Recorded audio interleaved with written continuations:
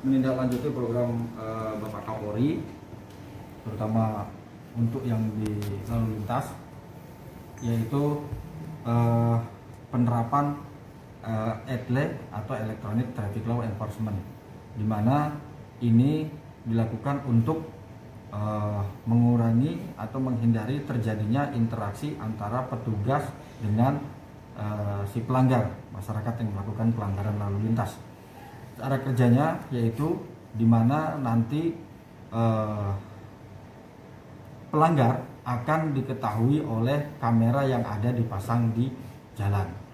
Kemudian eh, dari data tersebut nanti diketahui nomor registrasi kendaraan serta pemilik kendaraan.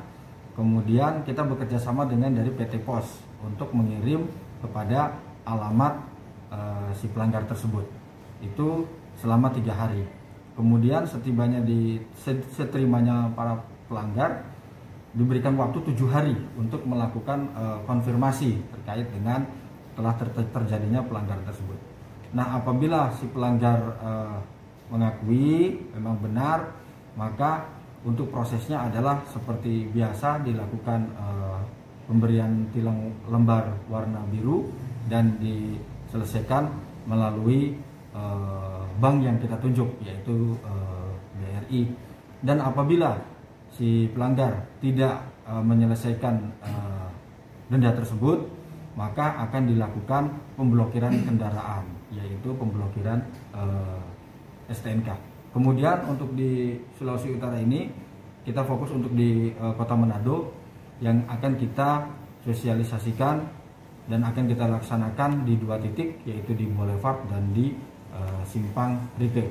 Tetapi kita masih menggunakan uh, semi etle yaitu menggunakan kamera CCTV yang ada di RTMC di Telantas Polda Sulawesi Utara. Ke depannya mudah-mudahan kita cepat bisa uh, mewujudkan dengan memasang uh, kamera etle yang sesuai dengan standar etle. Untuk TV yang ada sekarang kita bekerja dibantu dengan dari pemerintah kota, kemudian uh, dari pemerintah kota itu ada sekitar uh, 17 titik dan kemudian RTMC ada 30 titik. Tetapi ini kamera yang bukan khusus untuk pelaksanaan Electronic Traffic Law Enforcement atau ETLE tetapi kamera pemantauan. Tetapi di titik Boulevard dan Simpang Rike itu bisa dilakukan uh, sektor atau di zoom dan ini bisa kita lakukan uh, semi etle ataupun uh, e-tilang. Oke, Pak mungkin nanti akan dipasang pemantauan di jalan. Saya harapkan para pengguna jalan agar mematuhi aturan lalu lintas dan tertib berlalu lintas karena nanti tidak harus menunggu ada petugas kita baru tertib tetapi ini dipantau oleh kamera CCTV eh, kapan dan di mana pun juga bahwa di belakang saya ini merupakan layar monitor Regional Traffic Management Center Polda Sulawesi Utara dan ini merupakan perangkat yang akan digunakan oleh operator RTMZ. Nah, penerapannya nanti rencananya kita akan mengikuti secara nasional di mana Electronic Traffic Law Enforcement itu secara nasional akan di launching pada tanggal 17 Maret 2021.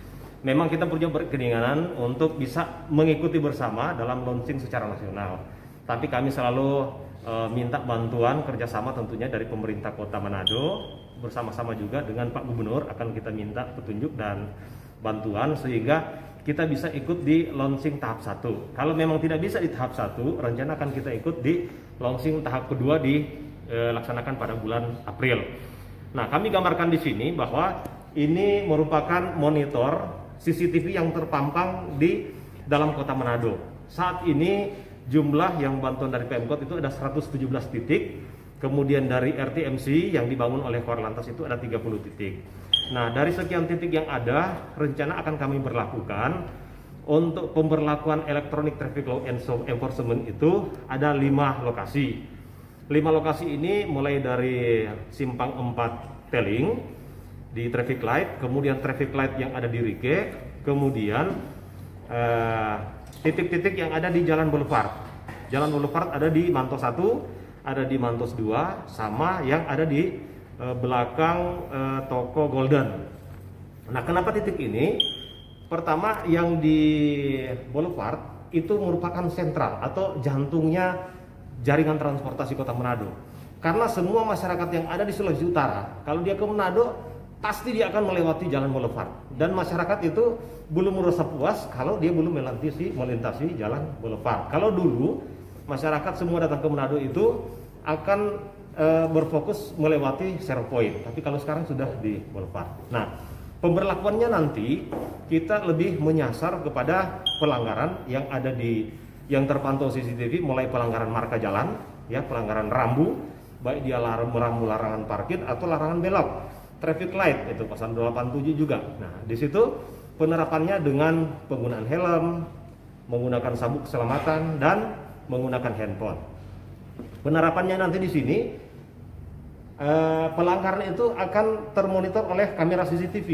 Nah, setelah termonitor oleh kamera CCTV itu akan eh, tercapture screenshotnya nanti eh, ke depan akan secara otomatis. Nah, secara otomatis dengan plat nomor eh, pelanggaran. Nah, setelah kita tercapture, tercapture itu akan kita print out. Setelah kita print out, kemudian akan keluar seperti ini. Ini gambaran.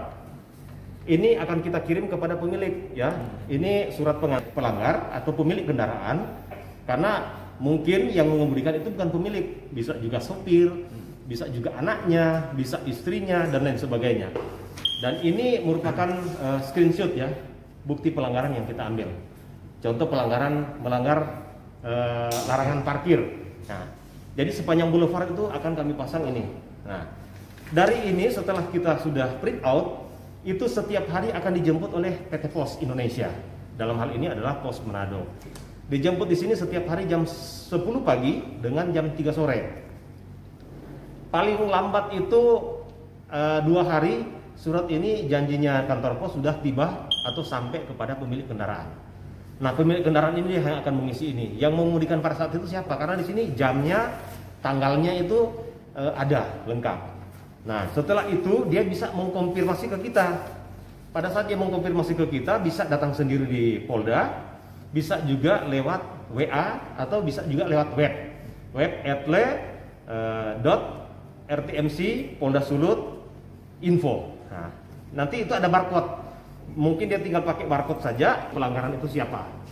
Apa dia sendiri atau yang mengemudikan itu supirnya atau anaknya. Nah, dari situ eh, dia datang ke kita atau lewat web juga kita kirim brifa ya dari virtual nomor yang akan dia bayar sebagai eh, pelunasan denda. Pada saat dia sudah membayar denda akan terkonfirmasi ke Polda atau ke RTMC. Nah setelah ter- ter- terkonfirmasi, kemudian tilang akan kita kirim ke pengadilan untuk dilakukan persidangan dan nanti eksekusi dari pihak kejaksaan. Kalau apabila kendaraan itu sudah berpindah tangan, di sini juga nanti ada kolom bahwa kendaraan itu telah berpindah tangan. Kendaraan sudah berpindah tangan ke siapa? Nomor telepon yang bisa dihubungi, alamat yang bisa disampaikan surat ini pada siapa? Kalau dia tidak melaksanakan pembayaran sampai dengan batas waktu 10 hari, secara otomatis itu surat-suratnya khususnya STNK akan diblokir. Sehingga dalam pengurusan nanti dia harus menyelesaikan dulu tunggakan yang sudah dia lakukan dan di mana bukti pelanggaran. Itu mungkin e, mekanisme dan gambaran awal sehingga masyarakat tidak dikagetkan ya. Tiba-tiba ada surat cinta dari ke- kepolisian ya di mana ada bukti pelanggaran yang telah dilakukan dan kita kirim kepada pemilik kendaraan. Itu mungkin, makasih. Kalau eh, saat ini kami masih tetap dalam ada grup diskusi ya. Di situ sudah lengkap kita dari Kominfo ada, dari perhubungan ada, kemudian dari Balai Jalan, dari BPTD juga, kemudian dari lingkungan hidup.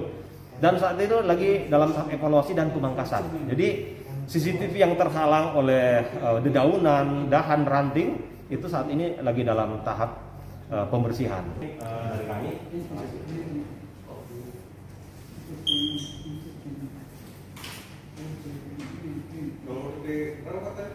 dari dari kita ke 30 cuma memang ada gangguan sekarang?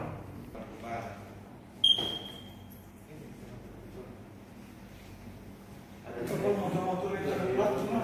Hmm, kalau motor tidak dapat jadi nanti ke depan itu kalau motor tidak dapat itu namanya kejahatan.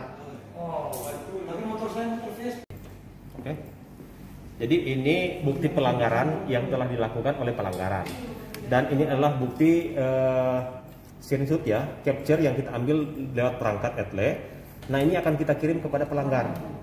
Jadi ini di halaman kedua ini, di halaman kedua dari pengantar halaman kedua ini halaman ketiga.